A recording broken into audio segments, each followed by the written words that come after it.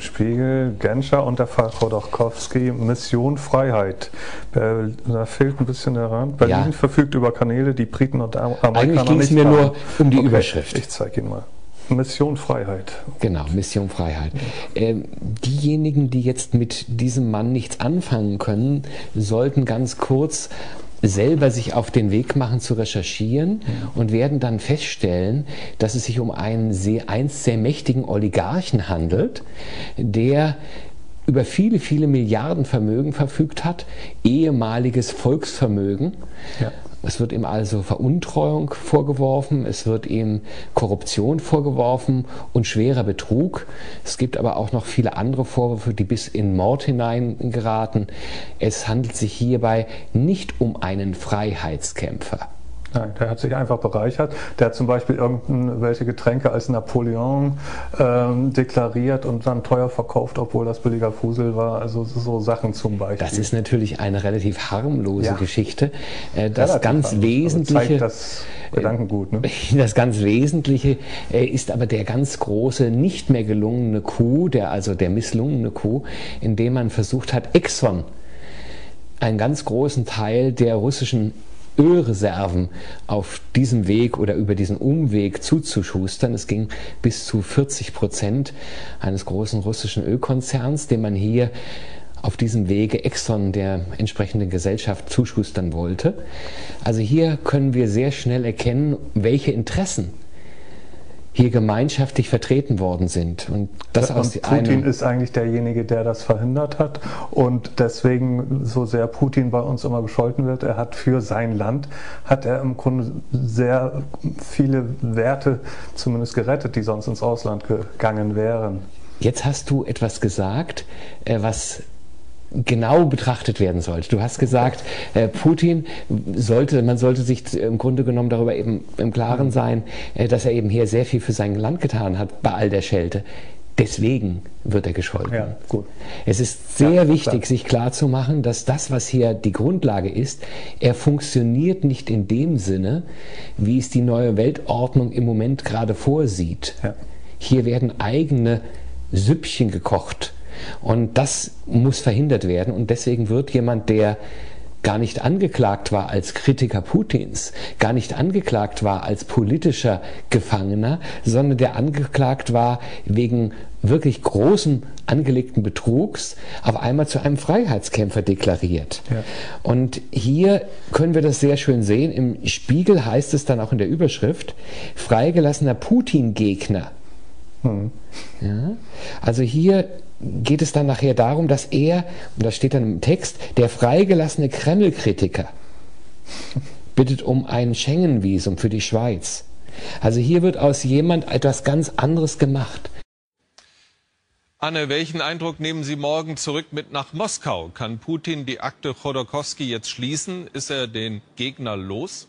Hätte er denn irgendeine Chance oder Wirkung bei den Russen oder ist es den Staatsmedien in Russland gelungen, ihn endgültig sozusagen als raffgierigen Oligarchen zu brandmarken? Natürlich war Chodorkowski unpopulär, als er verhaftet wurde und ihm der Prozess gemacht wurde. Und äh, die Russen haben ihm vorgeworfen, er habe sie um die Privatisierung geprellt, er habe wirklich äh, Bodenschätze an sich gerafft. Aber die zehn Jahre Lagerhaft, die haben bei den Russen äh, Chodorkowski zu einer moralischen Instanz werden lassen. Äh, Chodorkowski hat heute gesagt, die politischen Spielregeln in Moskau müssten geändert werden. Er hat aber nicht gesagt, ob er daran teilhaben wird, sie zu ändern. Der Andrang war groß im Mauermuseum am Checkpoint Charlie in Berlin. Alle Welt wollte hören, was Michael Chodorkowski sagen würde bei seiner ersten Pressekonferenz seit der Freilassung nach gut zehn Jahren Haft. Es gibt noch immer politische Gefangene in Russland und nicht alle haben mit dem Yukos-Fall zu tun. Eingesperrt wurde Chodorkowski offiziell wegen Steuerhinterziehung. Mit dem inzwischen bankrotten Erdölkonzern Yukos war er als einer der Oligarchen nach Ende der Sowjetunion reich geworden. Am Freitag war Chodorkowski an Bord einer deutschen Privatmaschine in Schönefeld gelandet. Den Flug hatte der ehemalige Außenminister Genscher organisiert. Er war es auch, der sich hinter den Kulissen jahrelang um die Freilassung des ehemaligen Ölmagnaten bemüht hatte. Zweimal traf er Kremlchef Putin.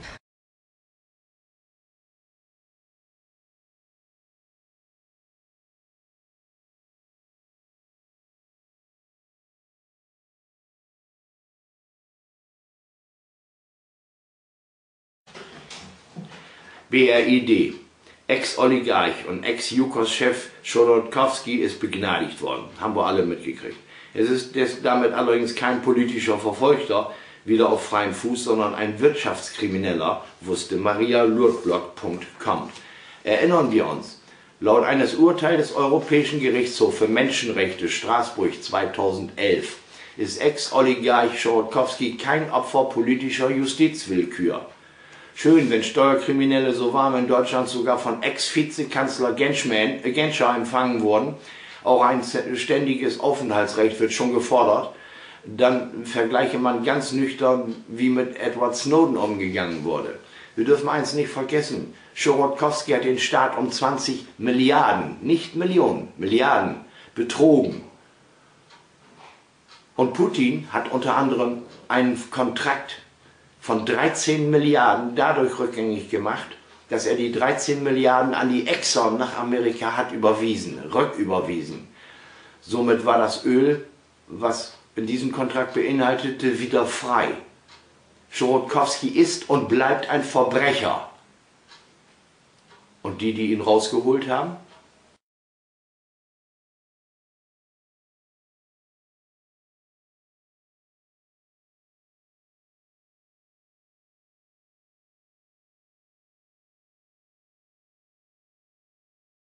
With more than 2 million people currently incarcerated, the United States trumps China, Russia, and the rest of the world in the number of prisoners doing time. About half of those in U.S. jails are in for nonviolent offenses. Since 1990, America's private prison population has increased 1,600%.